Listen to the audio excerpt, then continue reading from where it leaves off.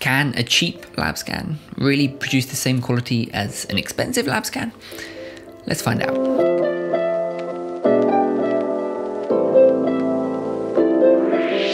Today, we're talking about film scans, and more specifically, we're comparing three different types of scans to see how they stack up to one another. I sent some negatives off to three different sources. The first one being my traditional film lab, the lab that I go to personally for the majority of my work. The second one being a good friend of mine, Kyle McDougall. He has a very high quality film scanner, and he very kindly said that he would take in these negatives for me and scan them for the purpose of this video. And the third being a fairly new startup film lab that uses an Epson flatbed. Now, the lab that I normally send my scans to use a high quality Noritsu scanner.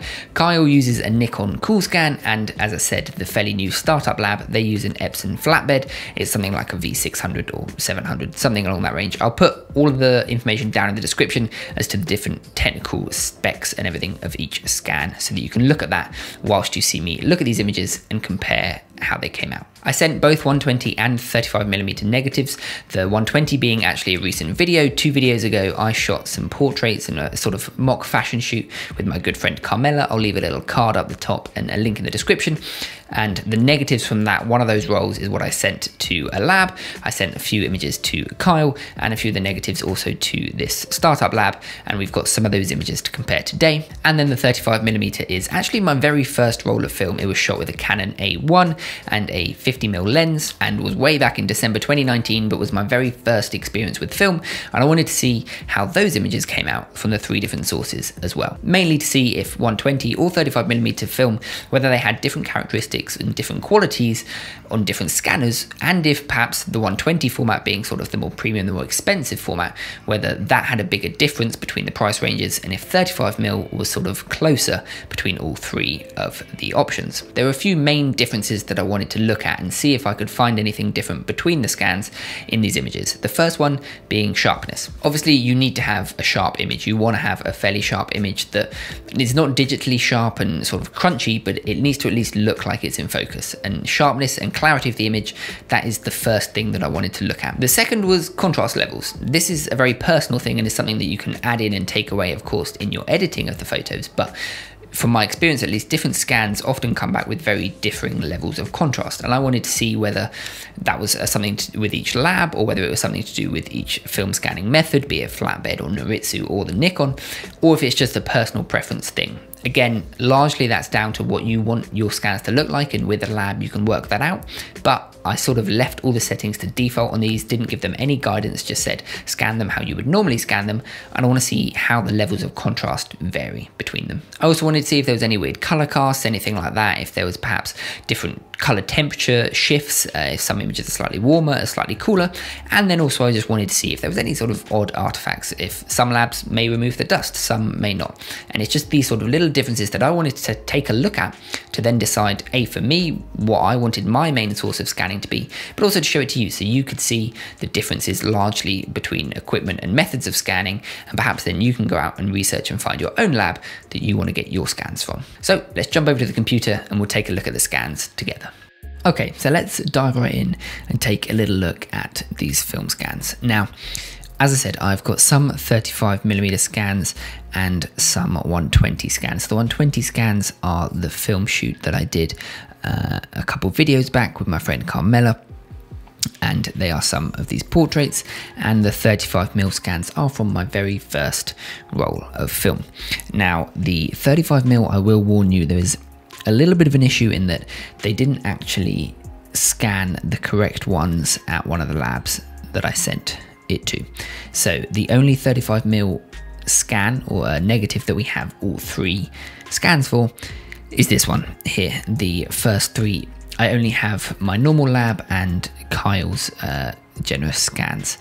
I don't have the Epson flatbed, but I do have it for one of the 35 mils and for all of the 120 film, we have all three scans. So let's jump straight in and take a look. Now, all of these are completely unedited, I believe. I played around briefly before, but um, they're all set to zero back to where they were, and these are the scans. So this one, as you can see, is a 4492 by 6774 scan, and it is the lab, and it is a high resolution TIFF. That is the, the generally the the scan that I opt to get from my normal lab.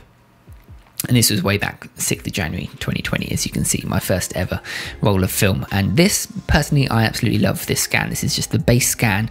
And for me it is a very nice image. If I zoom into 100% there's plenty of detail in here. There's a lot of detail in these shadows a little bit of noise but I mean it's just typical film noise. But you know down in these dark shadowy areas up here there is still plenty of detail. It adds quite a nice sort of neutral uh, color to it. It doesn't look particularly warm. It doesn't look particularly cold. I think it looks good. Um, very little really clipping. Um, it's all pretty well uh, exposed in the middle there. They've they did a good job getting the exposure correct, and I would say contrast. It looks pretty neutral. It doesn't look too contrasty, but it also could be flatter. And that was, as I said, that's with the Noritsu uh, scanner. This one then is Kyle's scan, and obviously you can tell a big difference just from between these two, but pretty easy to grade it back to where uh, the other one was. I think if we take a look, uh, sorry, if we take a look at these two side by side, you can see here I got the lab resolution. This one's Kyle's. Kyle's is a slightly lower resolution, 3713 by 5569, but not completely different. There is still plenty of detail. If anything, the shadows in here, they're actually a little bit lighter. There's a little bit less contrast. So there's slightly less visible noise, but detail wise, you know, up in these trees, up in here, they are very comparable, very much so. Equally as sharp, a lot of detail in both of these negatives. But I guess the one thing that is pretty obvious is Kyle's is a little bit cooler, which is actually not a bad thing. I don't mind it. You can see these these whites are a little bit more blue and they're a little bit brighter as well. It's obviously a little bit uh, just higher exposed in general. I mean, it's pretty easy to adjust. You know, if I brought that down sort of like that, it's almost at a similar level and just warmed it up a little bit like that. Uh, and then maybe brought the shadows down just a touch like that. Uh, the exposure probably still generally needs to come down. You know, they're they're getting to a much closer point. They are very similar to one another, and very easy to be graded. This one's Kyle's is maybe a little bit more yellow. You can see this is a little bit more magenta, but in general, pretty easy to grade them. But out of the bat, if you didn't know much about grading or didn't know much about editing in general, you might think that you prefer one of these looks and if you got the other look, you'd say you wouldn't go back to that lab potentially. But very easy when they're such high quality like these two are and as sharp and uh, as clear as they are, it's very easy to grade them back to a similar point. Moving on to the next one, uh, let's just take a look here. This is again the, the original lab 6774 by 4492. This is a really lovely image. There is a little bit of a flare down here and up here, but I really like this image. Again, perfectly sharp, lots of detail, a really lovely neutral color that I got here from my lab. A good mix of sort of warmth and cold, and I really like it. If we compare that again now, uh, to Kyle's. Kyle's once again is a little bit more blue, which I don't mind. These blues up in the sky here, I actually really like the sort of blue that we have. There is a little bit of a blue tint to the clouds, but in Kyle's scan, I really, really like that the color of the sky up there. I think I probably would warm it up a little bit. I generally tend to just prefer and really like warm tones uh, to to my my scans, so I'd probably warm this up a little bit. You know, just pull it I probably end up with a final image like that, which is obviously is actually warmer than that, but that's sort of what I like. But I do really like the hue of the blue that we got up in there. And obviously you can adjust this in the hue saturation sliders and, and luminance sliders so that it was a similar blue. But again, Kyle's pretty similar. Uh, this time contrast and exposure a lot more closely matched. Um, if you look up at the histogram just up here, uh, between the two, there's not a whole lot of shift. Kyle's is maybe a little bit more contrasty actually this time. You got a little bit more down in the blacks, a little bit more in the whites. This one uh, tends to be slightly uh, closer together and there's not as much in the blacks and the whites portion that's the, the lab scan but Kyle's again really lovely both of these if I got either of these from a lab I would be absolutely perfectly happy Next one, again, much of a muchness. I'll fly through this. This is super similar. Uh, really lovely grain, really lovely detail on this one. This is uh, more of a, this is obviously a portrait shot, a little bit more of a close up of detail in the darks. Obviously, there's a little bit of noise, but it's really lovely film grain really love that image and really love the way that it came out from the lab. Uh, again that's with the Noritsu Kyle's. Very very similar this time if I just bring them up comparing them again. Super super similar this time. Very little difference. Down in this portion down here is maybe a little bit brighter. Down here is maybe a little bit brighter. Uh, and maybe just a couple sort of highlights, you know, popping off here and here a little bit brighter, but very, very much very similar. Moving on to the final 35mm image, this one is where we start to see a little bit of difference, and this is where we actually have the first Epson flatbed. Now, this is the original lab image. I really enjoy this one, really like it. Again, this is this lab is actually the lab that I still use, so that's why I'm saying so much that I really enjoy these images. But this is uh, a super lovely image and it's just super easy to work with, especially in that TIFF format. Kyle's here, again, very similar. Um, the same sort of thing as before, it's slightly bluer. Um, and I, I, would also just say with these images, I said to Kyle, edit them and or scan them how you would scan them. And this is how he sort of came out with the colors. Um, this maybe just be his preference. I personally would have it more like that, but again, that's purely personal preference. This is a lovely, lovely scan that Kyle did that you could work with to no end and have looking great. You could again just warm it up, bring the exposure down slightly. You know, you can get a very, very similar image. But if we now go into the very first Epson image, this is where things get a little bit different. If I zoom into 100% here, you can see there is very little detail. And I mean, the scan, if you look up here, is 4176 by 6640. So that's actually bigger than Kyle's scan.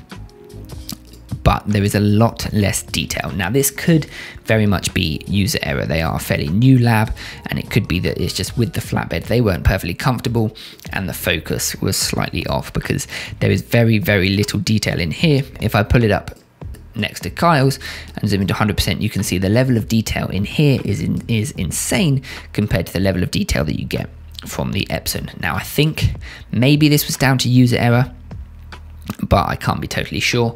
Also, these are very, very cool, these images. This wall was white, so it is a little bit too blue for my liking. Again, you could warm it up just fine. I've also just noticed that this is slightly cropped in. I mean, there's less space there than there is there. I don't know if they've cropped in slightly to negative or what, but it is actually slightly smaller, um, uh, slightly sort of less real estate space. Um, again, you can edit this to be, you know, sort of where you'd want it to be. Um, but it's for me, I wouldn't use this image and I wouldn't be super happy if I got this image back. With Kyle's, there was some flexibility. I don't know again if that's user error, but so far my experience with the Epson isn't as good, obviously, as with these high, uh, high price, high quality Noritsu and uh, Nikon scans. But moving on to the 120, we're actually now going to the medium resolution from a lab. Now, my normal lab had actually stopped doing black and white processing through this, this uh, the COVID pandemic. Obviously, they've been super busy and have had to cut down on staff, so they haven't been doing black and white processing and scanning. So I sent it to another lab and from them, I just got medium resolution JPEGs because I wanted to see what that would be like. Now, these obviously slightly smaller size, 2510 by 2048. And the first thing that you may notice is that it is an incredibly flat image. If you look up here, obviously there's a lot up in the highlights. That's obviously all the sky just up there. If you pull that down, you see that's affecting the sky but there isn't a whole lot else. There's some in the midtones, not a lot of shadows. It is a super flat flat image. It's almost like if you do if you do much video work, it's almost like a log image, which we, we really love to work with in video because it gives you so much dynamic range. But for this it's possibly a little bit too flat and I had to pump in a lot of contrast back into the images. Now these are the images that I did, uh, these are the scans that I did use for the video. I got them done at this lab and then since sent them off to be done at other places um, but these are the images that I did use and when I did put them in the video I did have to really pump in quite a lot of contrast. But in terms of sharpness you know they're good. If we zoom into 100% we can probably go a little bit more if we're going to 200% here you can see there's a decent amount of detail. They do leave the dust on here which obviously is quite common with black and white film. But at 200% there is a decent amount of detail. And if you're just uploading this to the web or to Instagram or for, for YouTube purposes like I was perfectly fine. If you're not going to, you know, upload them to massive billboards or get big prints of them, they're absolutely fine. So moving on to Kyle's scan now. This one, obviously you can tell there is a little bit more contrast straight away. And if you look at the size, he gave me TIFFs and they are huge file sizes, 10,616 by 8,493. They are some super, super detailed scans. You can see 200% zooms in a lot. I mean, 100% of this zooms in a lot more than 100% of that image because obviously it is so much bigger. and you do get a crazy amount of detail. There's some really lovely grain and sharpness going on here. You could absolutely print these scans that Kyle gave me to a massive size. I thank him ever so much for this. But I mean, look at the detail that you have in the in the jacket in here. There's so much detail, and also there's just a, a really lovely amount of contrast in this image. If I compare it to this one, compared to this one, you can see there's so much more contrast and it's almost a lot more usable straight out of the negative than these lab ones were. Now the lab ones, as I said, they have plenty of play. I could add contrast back in and it was absolutely fine to do that, but Kyle's were more ready to go.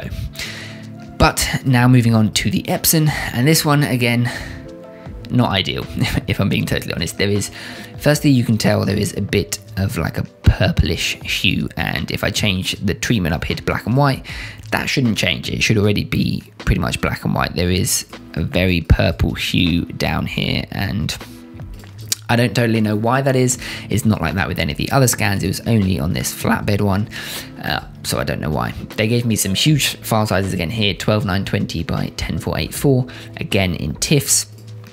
But if we compare the, the, the detail and just the sharpness, Kyle's is a slightly smaller scan than the labs, but the lab, I don't know again if they missed focus or what it was, but a little bit off, not quite as sharp, even though it was such a huge file. Now back here, you can't tell it as much, but it definitely does look pretty muddy in her face there. You, you can't make out nearly as much detail. It's quite muddy, quite just sort of compact. In here, you can see absolutely everything. It looks beautiful and sharp. Even back here at this range, it doesn't look great with the Epson. And as I said, I don't know why it wasn't in proper black and white. We'll zoom through these last ones here. This again, a lovely image, really like it. Really lovely sharpness on this, uh, the, the lab. Um, you know, if, even if comparing the lab to uh, to the, the, large scan, you know, this this scan is almost four times the size or five times the size. You get more detail in the smaller scan than you do in this one, which isn't ideal. The Epson didn't stand up to the test. Again, I don't know if that was user error, if it was these guys at the lab just hadn't quite worked out the settings. I know the lab that I did use, they have actually got a Noritsu since, so um, I mean, I'm not going to name them, but they have actually got a Noritsu since, so I'm sure they've sorted out any scanning issues. But you can see there was actually just so much less detail on on this, even though it's so much of a bigger file size. Again, the labs, the, the, the medium resolution lab scan that I got was quite low in contrast. Kyle's was really lovely in contrast, super detailed for these 120, uh, uh, the, the 120 negatives, Kyle's scans were by far the best. Just absolutely blew me away, and I thank him so much again for, for providing me with those. Um, but the labs obviously were what I used for the video and the video images. I think they went down well and, and came across great. So absolutely, these images from the lab could be used perfectly well. You can see they look super sharp. They're absolutely lovely. These were all shot with the RZ67, by the way, and the 90mm lens such a lovely combo. I absolutely love these images. A little bit annoying, a few annoying specks of dust, but I was able to get them out just fine. But again, Kyle's just having such pleasing, lovely contrast. Absolute. I mean, look at the, the level of clarity in here 100%. And I mean, her skin looks amazing as well. It's one of the wonders of film. Um, I mean, skin just renders so well and so smoothly and so beautifully. Kyle scans look great. Again, the Epsons, that purple hue, just quite muddy in here, not a whole lot of detail. In these areas in here, you can see there's just not a lot of detail there. Whereas in Kyle's, there's a lot more detail. Oh, when it loads. There we go. There's a lot more detail going on in there. These ones just a bit muddy, a little bit purple not what you want. Obviously, you'd have to set them to black and white to edit them, which make them better. But if you're going for sort of like a, a vintage look, there's almost a vintage softness, almost like a vintage lens to it. But I would rather be able to shoot with a vintage lens rather than have that come through the scan. Again, the final image, the exact same. The lab one, a lovely sharpness, great resolution, just needed a little bit of contrast pumped in, but I didn't mind having that as my own step and getting a very neutral image Kyle's looked great out of camera. This one was a little bit overexposed, probably. I mean, he was in the process of moving, and I gave him a lot of scanning to do, so I can't complain about anything. But again, such lovely detail. I did actually miss focus a little bit on this. That's actually a little bit clipped, which I didn't notice uh, before. That is a little bit clipped there, but uh, I mean, again, a really lovely scan. The Epson one this one is just completely clipped, pretty much. Um, maybe it's not, but uh, again, it's it's black and it's slightly a purpley hue. there's a weird level of contrast to this that hasn't been in any of the others and is slightly out of focus. So, I mean, that's all the scans. Let me know what you thought was your favorite, I guess. Kyle's for the 120 I personally loved, but the lab scans gave me uh, just plenty of resolution and flexibility to work with and these one uh, these 35 millimeter tiffs that I got from the lab I absolutely loved these. And the just the level of flexibility that I had with these being able to edit these I absolutely loved. And that is why I use this lab going forward from now for both 35mm and 120 unless it's black and white at which point I send that to the other lab. Or maybe I'll use Kyle for a little bit from now So that was the scans, and I think it was a pretty important exercise and a vital exercise to see that you can actually get very different levels of quality and just general differences between scans depending on where you send your film to be scanned. Now, I already know which one I prefer the most, and my film lab that I send all my film to, they have sort of built up a relationship with me, so they know exactly how I want my scans to be, and so going forward, I'll be using them. But for you watching, maybe you saw a certain method that you really liked, and you think, I want to go down, and that's the method of scanning that I want to go with. So I hope that the video was at least somewhat helpful for that. But I think most important is to decide what do you want from your scans? Do you want them to be super contrasty? Do you is sharpness the one thing that, like the key that you have to have in your image no matter the level of contrast or if there's certain color shifts you can fix that in post but you can't fix sharpness. Whatever it is, you need to think about what you most want from your scans and what you most value and then shop around to try and find exactly what it is that you want. Also, maybe this video showed you that you can actually scan at home. Those the Epson flatbeds,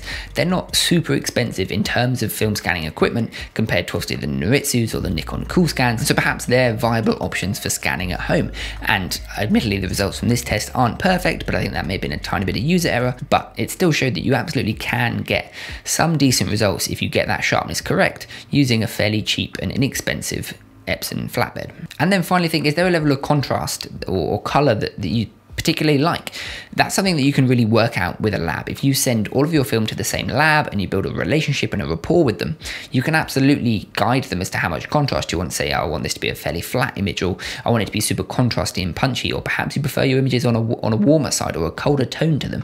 You can absolutely work out that relationship with your lab. And I would recommend shopping around and sending your film to different labs to try and build a relationship with a certain lab. And absolutely going forward, once you send your film to your lab, you know that your results are going to come back with the level of contrast that you want, the color that you want to be that great starting point so that you can edit your negatives further. I hope this video was helpful in some way just to see the differences in certain scanning equipment and I hope that I instilled in you enough the importance of building a relationship with a lab and trying to get them and trying to work with them to really get the level of imagery and the quality of imagery that you want specifically for your type of photography because it's it's again it's completely subjective as long as your image is in focus and it's developed correctly a lab will be able to tailor the image to how you want it to be to be that starting point from which you can make your own personal edits. I'm going to link some of my recommended labs below that I've personally used that I think give good results. I've got a load more videos planned, hopefully coming soon, that is going to be both focusing on photography and film photography, but also diving a bit into the world of videography. My full-time job is as a videographer. I spend all day, every day, pretty much shooting and filming and editing videos, and is what I do as a job. So there will be more video and videography focused um, content coming soon, but Hopefully you enjoyed this one. If you did, feel free to leave a like, hit that subscribe button. Let me know your thoughts down below. If you have a lab that you use or if you have a certain way of scanning your film that you love, let me know down below. I always love to hear from you. But that's everything for this week. I hope you enjoyed it and hopefully I'll see you soon.